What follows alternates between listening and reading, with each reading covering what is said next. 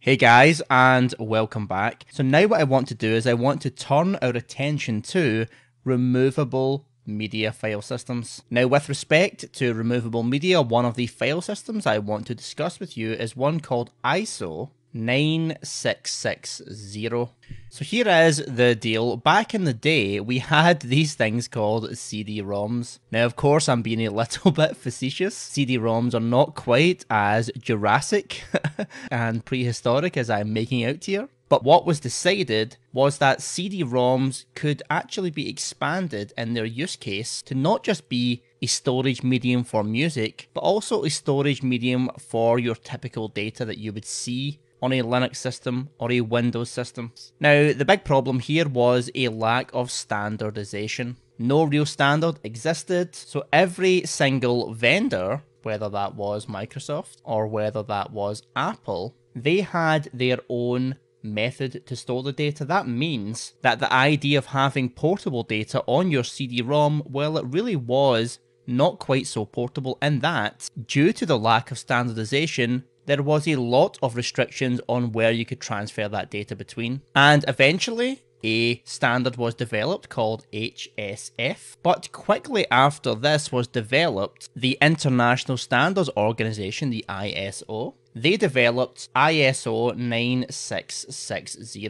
Now, with respect to ISO 9660, if you prefer, we have some extensions we have to be aware of. So let me tell you the three extensions that we have to know for the examination.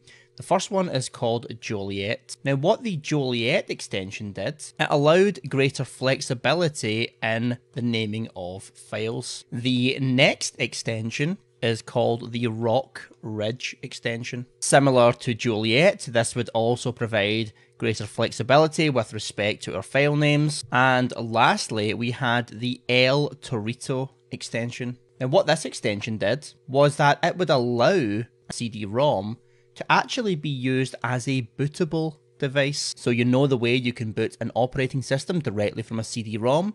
This is the type of thing we are talking about right here. So now that we are aware of the different file systems that we can have with respect to our removable media, let me just briefly touch upon a command that we definitely want to know for the examination. This is the make, or the MK, ISO FS command. So what this command allows us to do, it allows us to create an ISO 9660 file system and it will allow us to utilize those extensions we just talked about. So let's briefly explore this command then, shall we? Let's say that I wanted to create an ISO image of some type of files I have on my system. So if I go into, let's just say my downloads folder right here, I don't actually have anything, but I'll just add in file1.txt and just say this is some random file. If I save this, go back out. Now, obviously, this is not a lot of information, but let's just imagine we had way more information within this directory right here, and I wanted to be able to save this information so that I could burn it to a CD-ROM disk. Let me show you how we could do this using the mkisofs command. I can say mkiso fs, and I'll say dash o for the output, i.e. what is the name of the ISO file I want to create. I'll just say my download.iso, again call this anything you wish. And now I want to specify what it is I want to back up here. So I'll just choose anything within my documents directory.